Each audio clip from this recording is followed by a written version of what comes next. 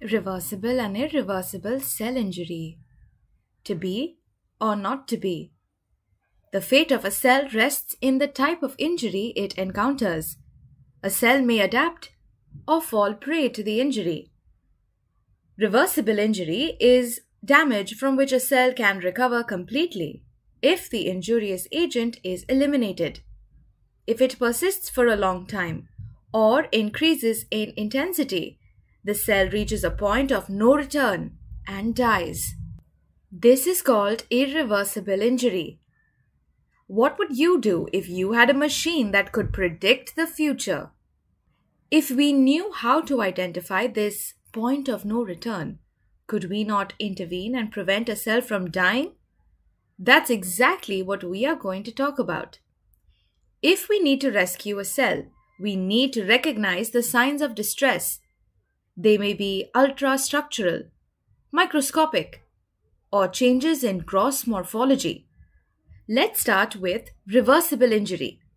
The changes seen in the cell are cellular swelling and fatty change.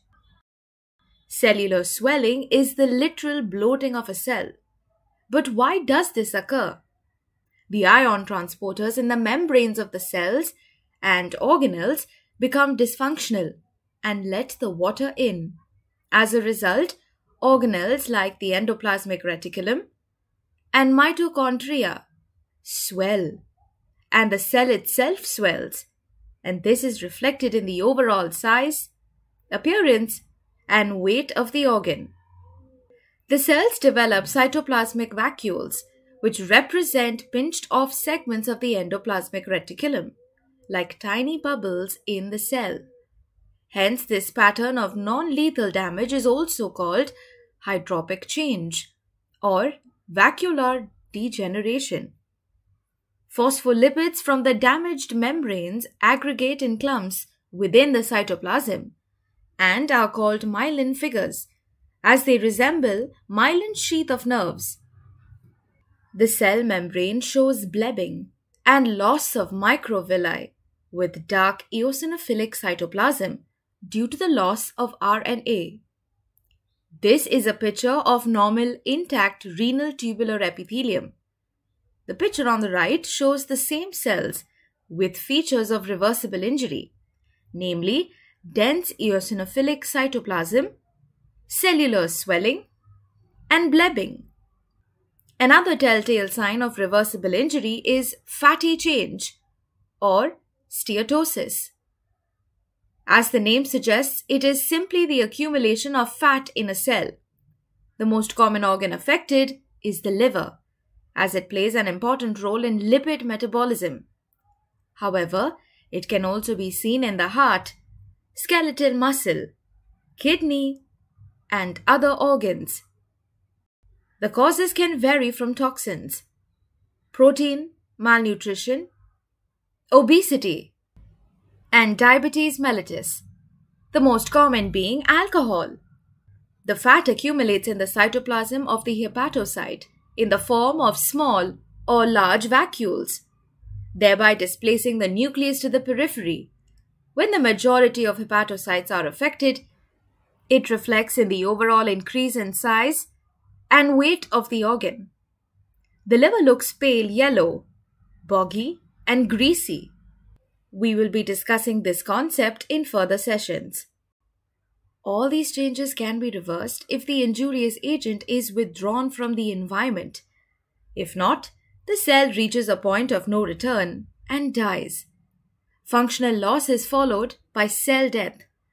Ultrastructural and microscopic changes appear before gross features of death in the organ. Now let's learn some more about cell death.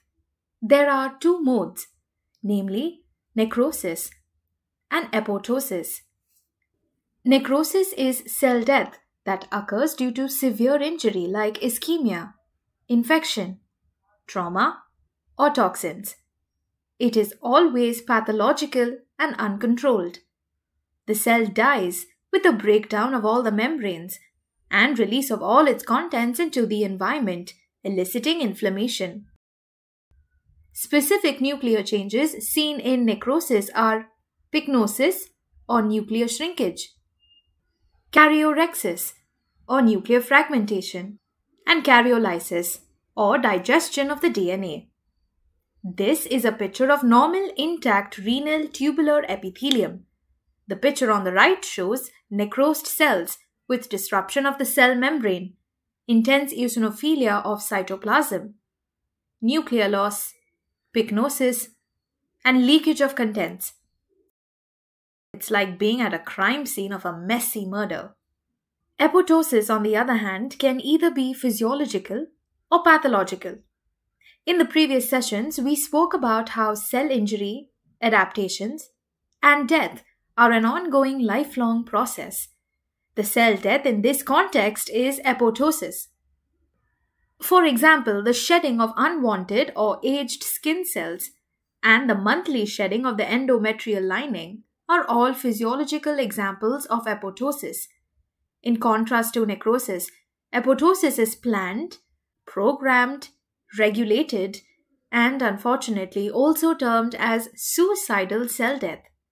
It isn't messy but is a clean freak and leaves no trace of surrounding inflammation. So, what decides if a cell undergoes necrosis or apoptosis in pathological conditions? If the damaging stimulus is severe, it leads to necrosis. If the damage is mild but causes enough DNA or protein damage, there are triggers at the genetic level that modify molecular pathways and destine the cell for apoptosis. We will be talking about these concepts in detail in our further sessions. Pop quiz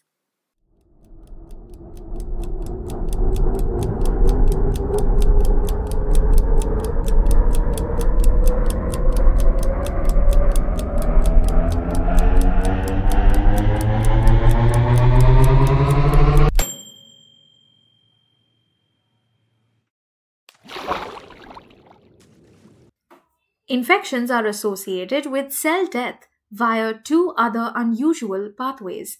The first one is necroptosis, which shows features of both necrosis and apoptosis. It involves not only molecular signaling pathways but also inflammation. Maybe like an actual murder, but staged to be a suicide. The second one is pyroptosis, where apoptosis is triggered by the release of pro inflammatory cytokines.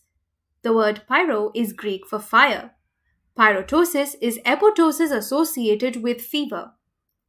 Have you ever been so frustrated that you felt your brain would turn into mush? Well, it's time to relax and meditate because, believe it or not, a brain can liquefy. Stay tuned to our next session on necrosis we hope you had fun learning with us.